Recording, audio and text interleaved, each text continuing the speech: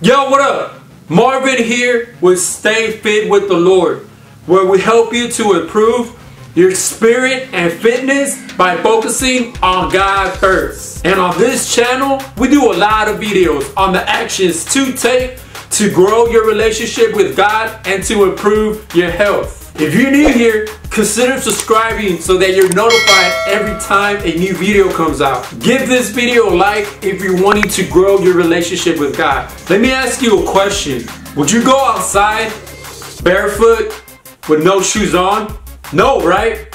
What would happen if you went outside with no shoes on? Your feet would hurt and get dirty. And depending where you go, you can step in rocks, dirt, mud, water, you get the picture. So why is it that as followers of Christ, we don't put on the shoes of the gospel? I will be going over scripture in the Bible where it tells us to put on the shoes of the gospel. And three ways to implement this weapon that God has blessed us with. In this video, coming up. So in this six video series, we have been talking about putting on the full armor of God. In Ephesians 6 14, it says, Stand therefore, having girded your waist with truth, having put on the breastplate of righteousness, and having shod your feet with the preparation of the gospel of peace. Above all, taking the shield of faith with which you will be able to quench all the fiery darts of the wicked one.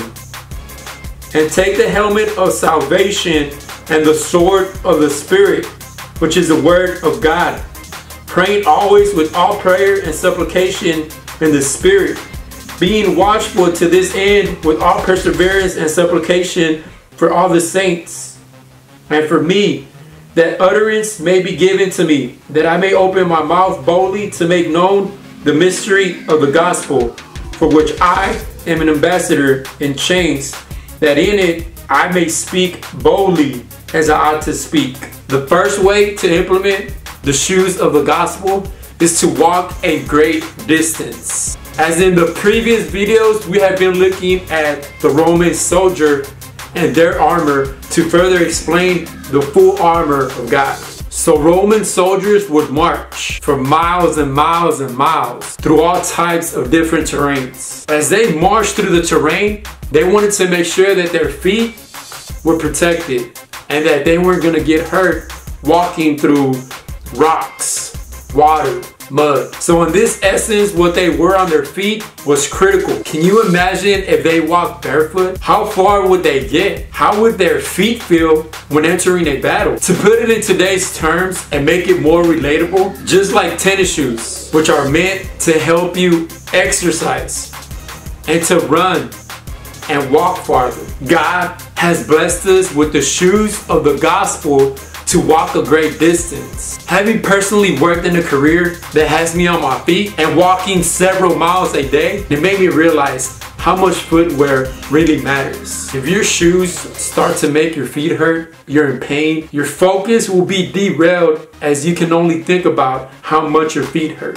Our shoes do the same. We walk comforted by our Prince of Peace. His yoke is easy and burden is light compared to what the world has to offer. Being followers of Christ is not easy, but God gives us these shoes of the gospel to help us go great distances in our walk. The second way to implement these shoes of the gospel of peace is we are to go and share the gospel without hesitation. Just like the Roman soldiers had already made up in their mind and were ready for battle. We must also choose to follow Jesus no matter what and be ready for battle. Fear and not being certain can stop us from sharing the gospel. If we are watching the news every day and being fed all the bad things that are going on in this world, it will trip us from being ready and having that readiness that comes from walking in the gospel of peace. We will hesitate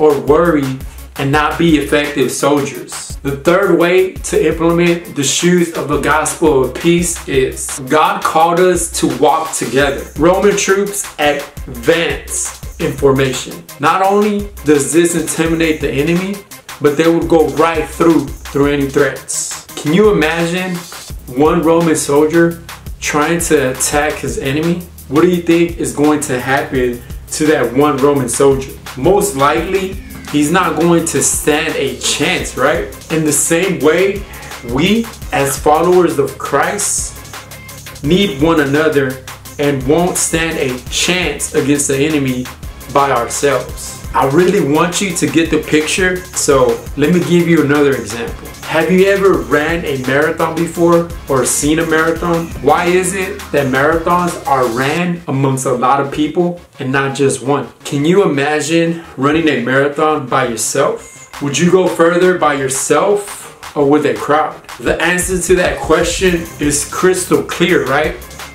With a crowd, you will go further. The same applies to our walk with Christ. Believers must walk together, fitted with the good news of peace. I want to encourage us to have a one minute written testimony of how you have seen God move in your life. So that next time you feel led by the Holy Spirit to share with someone, you will not hesitate and you will share the good news of the gospel. So I hope and pray that this message was powerful and helpful. So I challenge you today, not tomorrow, not next week, not next month, not next year, but today to really pray deep and ask God to give you the strength and power. That first thing in the morning, you will put on the whole armor of God. You will put on the belt of truth. You will put on the breastplate of righteousness to protect your heart. And you will put on the shoes of the gospel of peace. And trust me, he will. So I highly encourage you to give it a try. Nah, you know what? Scratch that. Don't try it.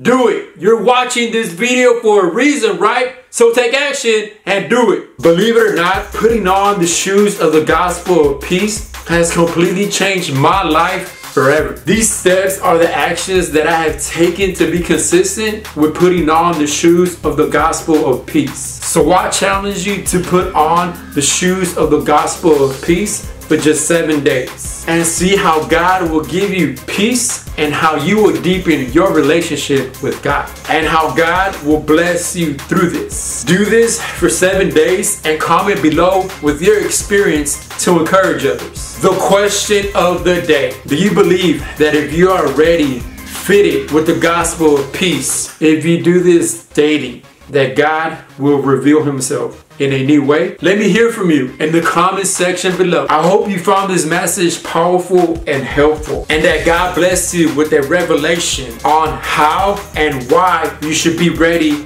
with your feet fitted with the gospel of peace every day. My mission is to help people stay fit with the Lord. Just like we go to the gym to improve our health, I want people to come to this channel to renew their spirit, but I can't do it by myself. I need your help. So if you want to support my mission, make sure to do these three things. Number one, like this video. Number two, subscribe to my channel. And number three, share this video. So if God used this video to speak to you, please don't keep it to yourself. Be a blessing and share this video with someone you think God would use to renew their spirit just like he did right now with you. Thank you so much for checking out this video. Subscribe if you haven't yet. It really helps me a lot. Until next time, stay fit with the Lord is helping you to improve your spirit and fitness by focusing on God first and giving you actions to take to grow your relationship with God and to improve your health. This is a six video series where we look at the six pieces of the armor of God, which are number one, belt of truth. Number two, breastplate of righteousness. Number three, feet fitted with the gospel of peace. Number four, shield of faith. Number five, helmet of salvation. And number six, sword of the spirit, which is the word of God. On the next video, we will talk on number four, shield of faith. You don't want to miss it. Let's continue to stay fit with the Lord and let God change and transform us spiritually and physically. Let me know what kind of videos you would like me to do or any comments you may have in the comment section below. Yeah, have a blessed day. Peace out. And remember, there's only one way to stay fit for life, and that's stay fit with the Lord.